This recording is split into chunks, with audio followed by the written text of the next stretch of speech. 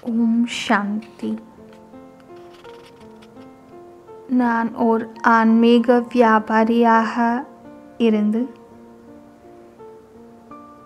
எனது லாப நஷ்ட கணக்கை பரிசோதிக்கிறேன். முழு கல்பத்திற்கான சேமிப்பை இந்த ஒரு சிறிய சங்கமயுகத்தில் மட்டுமே சேமிக்க முடியும் என்பதை உணர்ந்து கொண்டேன். எவ்வளவு பேருக்கு என் மூலமாக சுகம் சென்று கொண்டிருக்கிறது? எவ்வளவு பேருக்கு இறைவனின் ஞானத்தை கொடுத்தேன்? எவ்வளவு பேருக்கு அந்த பரம தந்தையின் நினைவை ஏற்படுத்தி அவர்களையும் ஆன்மீகமான வியாபாரியாக ஆக்கினேன் என்று இன்று என்னுடைய கணக்கை நான் சோதிக்கிறேன். என்னை பார்க்க வருபவர்கள் வெறும் கையுடன் செல்லக்கூடாது. எனக்கு இறைவன் அளித்த சுகம் சாந்தி அன்பு அமைதி போன்ற அனைத்து பொருட்களையும் அனைவருக்கும் கூட பகிர்ந்தளிக்கக்கூடிய உண்மையான வியாபாரியாவேன் நான் கொடுப்பது இன்னும் மேலும் மேலும் அடைவதற்காகவே என்ற ரகசியத்தை புரிந்து கொண்டேன். நான் கொடுப்பது மட்டுமல்லாமல் என் மூலமாக அவர்களும் இறைவனை நினைத்து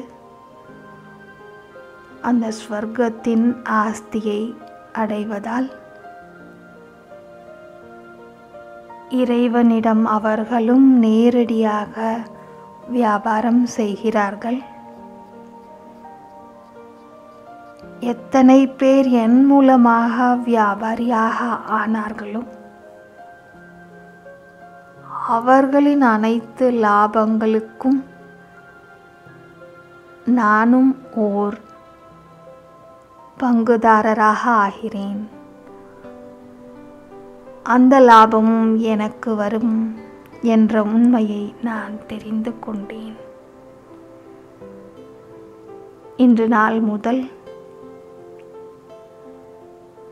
பரமாத்மாவிடமிருந்து நல்ல நல்ல குணங்களை வாங்கி அவருக்கு என்னுடைய வேண்டாத பலகீனங்களை கொடுத்து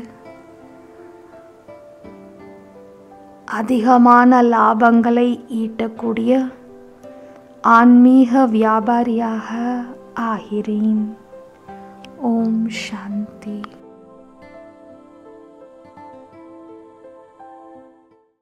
ஓம் சாந்தி. இருபத்தி மூன்று ஒன்பது இரண்டாயிரத்தி இருபது சக்கார முரளி முரளியின் சாரம். இனிமையான குழந்தைகளே நாம் எப்படி அனைவருக்கும் சுகதாமம் செல்வதற்கான வழியை சொல்வது என்ற கவலை உங்களுக்கு இருக்க வேண்டும். இதுதான் புருஷோத்தமர் ஆவதற்கான சங்கமிகம் என்று அனைவருக்கும் தெரிய வேண்டும். கேள்வி குழந்தைகளாகிய நீங்கள் ஒருவருக்கொருவர் என்ன வாழ்த்து செய்தியை கொடுக்கின்றீர்கள்? மனிதர்கள் எப்போது வாழ்த்து சொல்கிறார்கள்? பதில் யாரேனும் பிறக்கின்றார் அல்லது வெற்றி அடைகின்றார் அல்லது திருமணம் செய்கின்றார் அல்லது ஏதேனும் முக்கிய நாளாக இருக்கிறது என்றால் மனிதர்கள் வாழ்த்துக்களை தெரிவிக்கிறார்கள். ஆனால் அது உண்மையான வாழ்த்து அல்ல. உண்மையான வாழ்த்து கிடையாது. குழந்தைகளாகிய நீங்கள் ஒருவருக்கொருவர் தந்தையினுடையவராக ஆவதற்கான வாழ்த்தை சொல்கின்றீர்கள். நீங்கள் இப்படி சொல்கிறீர்கள். நாங்கள் எவ்வளவு அதிர்ஷ்டசாலிகள். அனைத்து துக்கங்களிலிருந்தும் விடுபட்டு சுகதாமத்திற்கு செல்கின்றோம் என்று. நீங்கள் அனைவருக்கும் சொல்கின்றீர்கள். உங்கள் மனதில் மகிழ்ச்சி நிரம்பி இருக்கின்றது. ஓம் சாந்தி. எல்லைக்கு பார்ப்பட்ட தந்தை வந்து எல்லைக்கு பார்ப்பட்ட குழந்தைகளுக்கு புரிய வைக்கிறார். எல்லைக்கு பார்ப்பட்ட தந்தை யார் என்ற கேள்வி இப்போது எழுகிறது. அனைவருடைய தந்தை ஒருவர் பரம்பிதா பரமாத்மா என்று அழைக்கப்படுகிறார். லௌகிக தந்தையை பரம்பிதா என்று சொல்வதில்லை. பரம்பிதா என்பவர் அந்த ஒருவர்தான். துக்கத்தை நீக்கி சுகத்தை கொடுக்கும் பரம்பிதா பரமாத்மாவை குழந்தைகளாகிய நீங்கள் மட்டும்தான் தெரிந்துள்ளீர்கள்.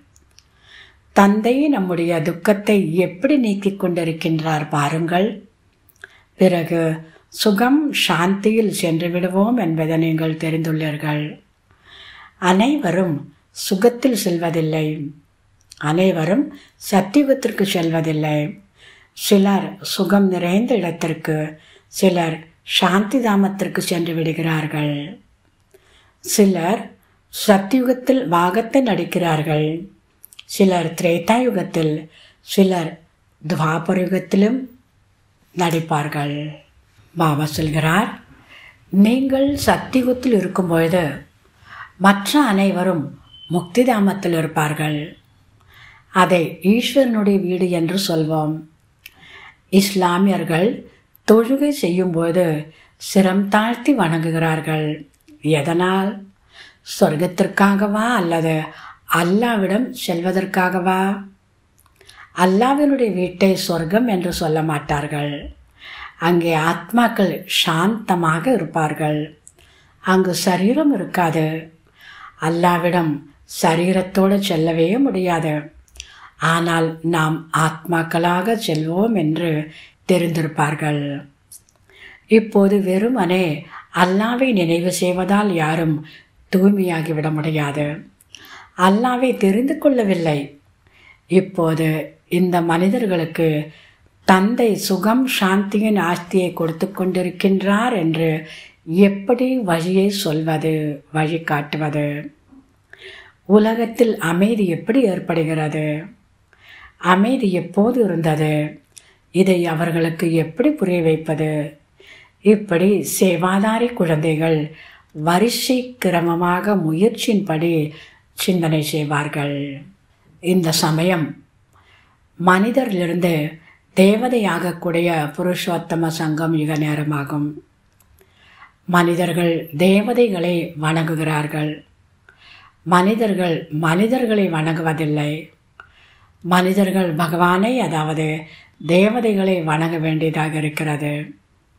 இஸ்லாமியர்களும் கூட தொழுகிறார்கள் அல்லாவை நினைக்கிறார்கள். அவர்கள் அல்லாவிடம் போய் சேர முடியாது என்று நீங்கள் தெரிந்துள்ளீர்கள்.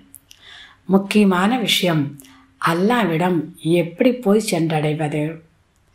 பிறகு அல்லாஹ் எப்படி புது உலகத்தை படைக்கிறார்?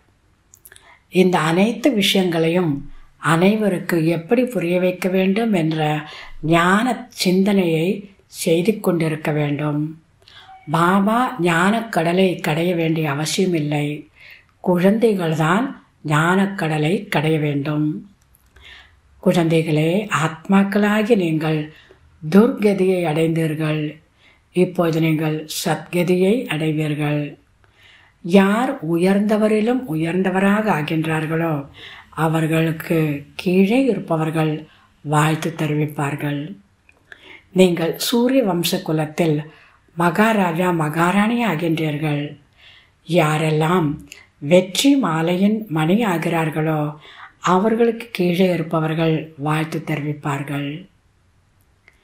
தாரணைக்கான முக்கிய சாரம் முதலாவதாக நான் சென்று குழந்தைகளை துக்கத்திலிருந்து விடுவித்து சுகமுடையவர்களாக ஆக்குவேன் என்று எப்படி பாபாவிற்கு எண்ணம் வந்ததோ அதே போன்று தந்தைக்கு உதவியாளராக வேண்டும். வீடு வீடாக செய்தியை கொண்டு போய் சேர்ப்பதற்கு யுக்திகளை உருவாக்க வேண்டும். இரண்டாவதாக அனைவருடைய வாழ்த்துக்களை பெறுவதற்கு வெற்றி மாலையின் மணி ஆவதற்கான முயற்சி செய்ய வேண்டும். பூஜைக்குரியவர்களாக ஆக வேண்டும். வரதானம். பணிவு மற்றும் அதிகாரத்தின் சமநிலை மூலம் பாபாவை பிரத்யக்ஷம் செய்யக்கூடிய விசேஷ சேவாதாரி ஆகுக. விளக்கம். எங்கு சமநிலை உள்ளதோ அங்கு அற்புதம் தென்படும். நீங்கள் பணிவு மற்றும் சத்தியதாவின் அத்தாரிட்டியினுடைய சமநிலை மூலம் யாருக்காவது பாபாவினுடைய அறிமுகத்தை கொடுத்தீர்கள் என்றால் அற்புதம் ஏற்படும். இதே ரூபத்தில் பாபாவை பிரத்யக்ஷம் செய்ய வேண்டும். நீங்கள் பேசும் வார்த்தைகள் தெளிவாக இருக்க வேண்டும். அதில் அன்பும் இருக்க வேண்டும். பணிவு மற்றும் இனிமையும் கூட இருக்க வேண்டும். மகான் தன்மை மற்றும் சத்தியத்தாவும் இருக்குமென்றால் அப்போது பிரத்யக்ஷத்தா ஏற்படும். பேசும்போது இடையிடையே அனுபவம் செய்வித்துக் கொண்டே செல்லுங்கள். இதன் மூலம் ஈடுபாட்டில் மூழ்கிய மூர்த்தியாக அனுபவமாக வேண்டும். அத்தகைய சுரூபத்தின் மூலம் சேவை செய்பவர்தான் விசேஷ சேவாதாரி ஆவார்கள். ஸ்லோகன் சமயத்தில் எந்த ஒரு சாதனமும் இல்லை என்றாலும் கூட சாதனையில் தடை ஏற்படக்கூடாது. நல்லது. இனிமையிலும் இனிமையான ஐயாயிரம் வருடங்களாக காணாமற் போய் மீண்டும் கண்டெடுக்கப்பட்ட செல்ல குழந்தைகளுக்கு தாய் தந்தை பாப் தாதாவின் அன்பு நினைவுகள் மற்றும் காலை வணக்கம். ஆன்மீக குழந்தைகளுக்கு ஆன்மீக தந்தையின் நமஸ்காரம். ஆன்மீக தந்தைக்கு ஆன்மீக குழந்தைகளின் நமஸ்காரம். ஓம் சாந்தி.